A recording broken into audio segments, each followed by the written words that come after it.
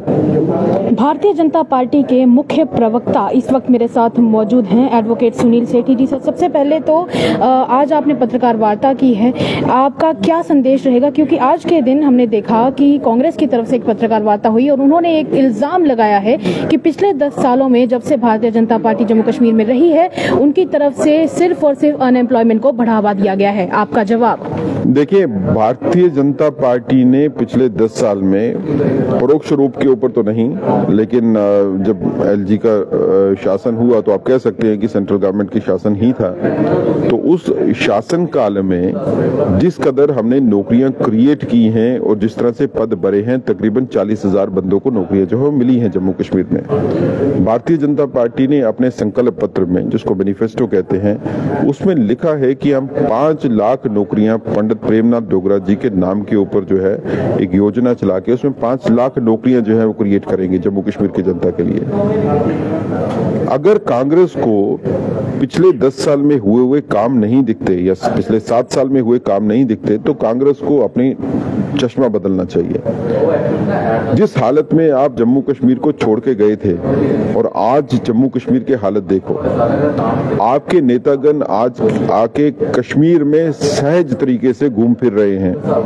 बाजारों में जाते हैं लाल चौक में जाते हो आप लोग आप लोग वहाँ पे खाना भी खाओगे, कुल्फियाँ भी खाओगे, बाकी लोगों से भी मिलोगे, कोई डर का माहौल नहीं है। यही राहुल गांधी जी जब यात्रा लेके आए थे पार्लियामेंट्री इलेक्शन से पहले तो श्रीनगर में हर जगह पे घूमे थे वो। उसको कोई रोक टोक नहीं थी। ये तभी हो पाया है कि भारतीय जनता पार्टी ने जम्मू कश्मीर में काम किया है और आतंकवाद को खत्म किया है। जम्मू कश्मीर में आतंकवाद को खत्म करना सबसे ज़्यादा ज़रूरी था।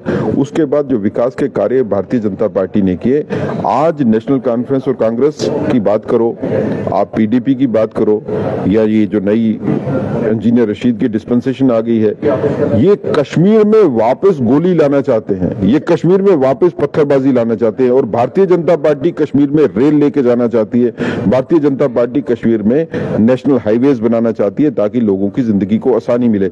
अब लोगों को ये डिसाइड करना है कि क्या कश्मीर में गोली की वापसी चाहिए या कश्मीर में ट्रेन चलनी चाहिए? बुलेट चलनी चाहिए या बुलेट ट्रेन चलनी चाहिए? सर, आप कश्मीर की बात करें, आप पिछले दिनों जो आतंकवाद की आप घटाने की बात करें कि हुआ है, पर दूसरी तरफ़ ये सुनने को मिला है कि जो कश्मीरी पंडित समाज है, उनका कहना है कि भारतीय जनता पार्टी जो है, वो टेररिज्म को नॉर्मलाइज करने की कोशिश कर रही है। ये बता के कि ये घटा है, खत्म क्यों नहीं कर देती है? देखिए, भारतीय जनता पार्टी के शासन काल में हमने फौज को और पुलिस को पूरे इख्तियार दिए हैं कि आप खुले तौर के ऊपर आतंकवाद से लड़ सकते हो, जिनके हाथ पहले बंधे हुए थे। 70 परसेंट से ज़्यादा गिरावट आना मिलिटेंसी में इस बात का सबूत है कि आप जो सैन्य बल हैं, वो बेहतर काम कर रहे हैं। पाकिस्तान से आतंकवादी अंदर नहीं भेजे जा रहे हैं जम्मू कश्मीर में, ये तो किसी ने नहीं कहा। लेकिन पाकिस्तान आतंकवादियों को अगर जम्मू कश्मीर में भेजता है तो उनका लाइफ जो है बिल्कुल कम है, वो जल्दी ही न्यूट्रलाइज हो जाते हैं। मैं तो पाकिस्तान को नहीं कह सकता हूँ कुछ भी। लेकिन नेशनल कॉन्फ्रेंस पीडीपी और ये जो अवामी ये जो इंजीनियर रशीद की पार्टी है आप लोगों के तार तो वहीं से चलते हैं भाई। आप पाकिस्तान को कह दो कि आतंकवादियों को भेजना बंद कर दे। इंजीनियर राशिद से याद आया कि हाल ही में जब उनकी बेल हुई है उसके बाद उन्होंने बाहर आते ही ये बयान दिया है कि ये मोदी का कश्मीर नहीं होगा मोदी का जम्मू कश्मीर नहीं होगा ये इंजीनियर राशिद का कश्मीर होगा। उस पर आपका क्या जवाब है? देखें ये जम्मू कश्मीर मोदी का जम्मू कश्मीर है और आने वाले काल में भी ये मोदी का ही जम्मू कश्मीर रहेगा।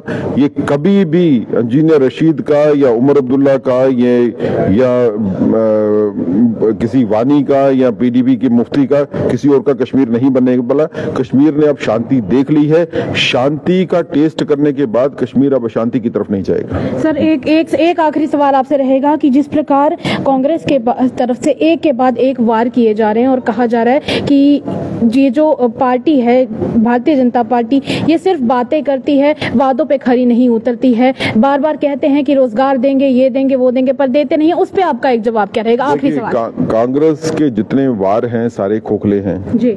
धार है नहीं। जी। सिर्फ़ बात करने के लिए वार करते हैं।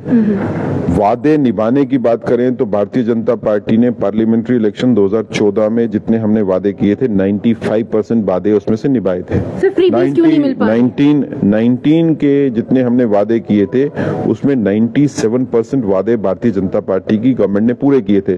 भारतीय जनता पार्टी ही एक ऐसी पार्टी है कि अगर वो संकल्प पत्र निकालती है तो उस संकल्प पत्र का पूर्णता पालन होता है। 100 परसेंट के करीब हम उसका पालन करते हैं। सर कई बार कहा गया कि फ्रीबीज नहीं दिए गए हैं भारतीय भारतीय जनता पार्टी की तरफ़ से। बाकी जो पार्टीज़ हैं वो कह रही हैं कि हम अपनी तरफ़ से फ्रीबीज देंगे। बिजली जो है उसका हम बिल जो है वो बहुत ज़्यादा घटा देंगे। उस सबको लेके।